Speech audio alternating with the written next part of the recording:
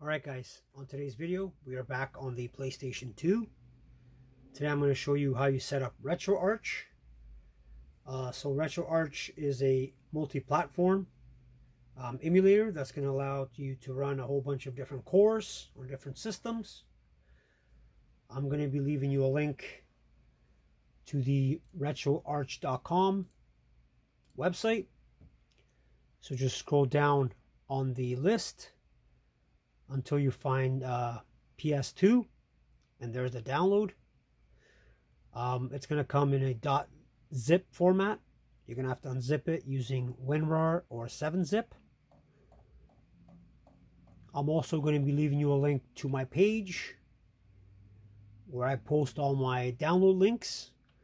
So just scroll down on my page where you find the RetroArch wallpaper and there's the download link right there.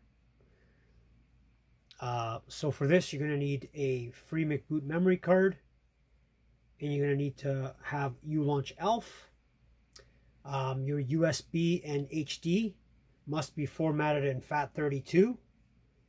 And then just create a ROMs folder on the root of your uh, USB device. So now this is the uh, download folder. So you're going to have the RetroArch it's going to have all the cores. And then it's going to have the emulator itself, raboot.elf. And then you're going to create a ROMs folder with all your systems. And then inside those folders, you're going to place all your ROMs.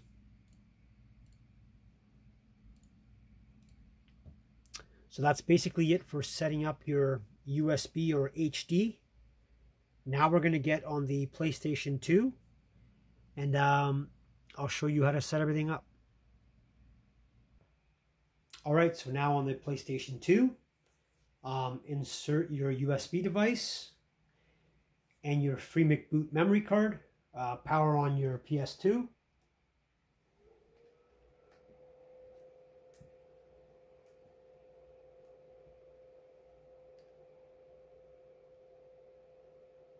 So first we're going to launch ULaunch ELF to go into the file browser. So press X.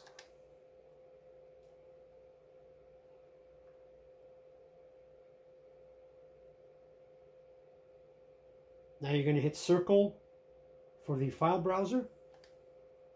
Go down to your mass. Now find your RetroArch folder.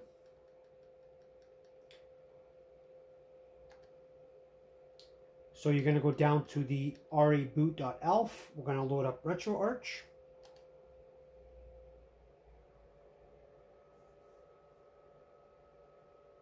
After the initial boot, uh, we're going to back out again.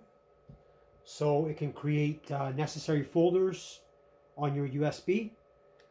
So just quit RetroArch.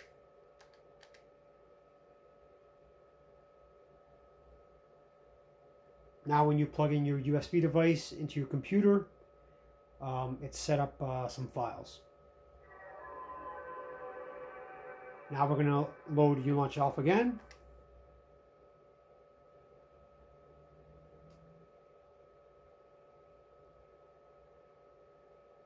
So file browser, go down to the mass folder.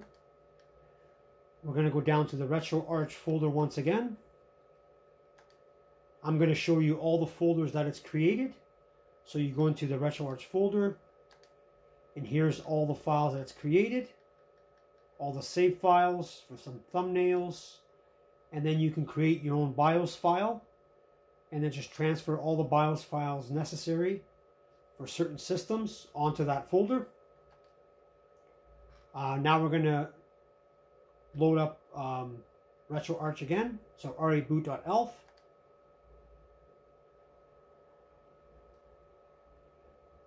We're going to load up a few cores.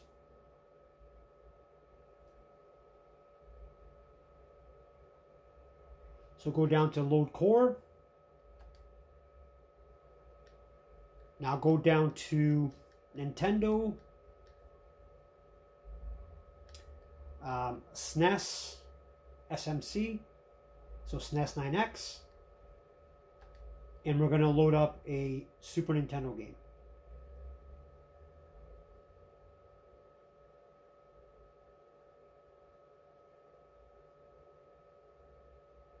So now the core is loaded. Go to load content. Go down to your mass. Now find your ROMs folder, which I created a folder called uh, Retro Arch Test ROMs. Circle. Go down to SNES. And then Super Mario All-Stars. And it should load the game right away.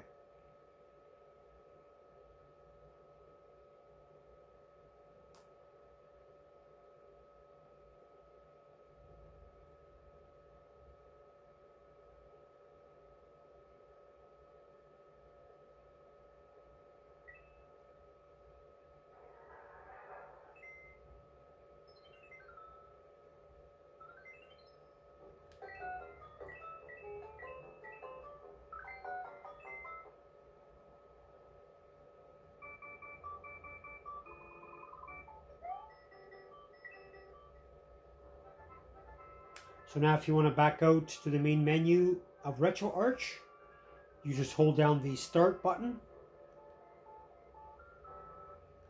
The screen will come up, just go close content. Now it'll take you back to the main menu. And we're going to load up a NES core. So load core. Go down to Nintendo Famicom. FCEUMM, circle, and that should load up the core.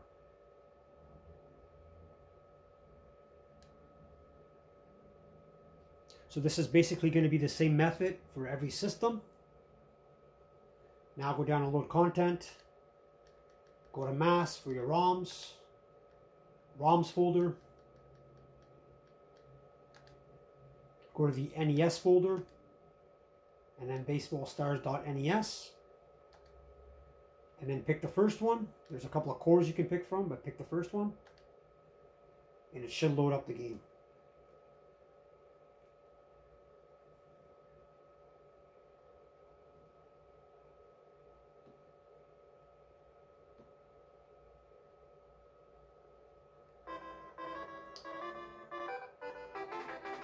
Now we're going to back out to the main menu, so hold the start button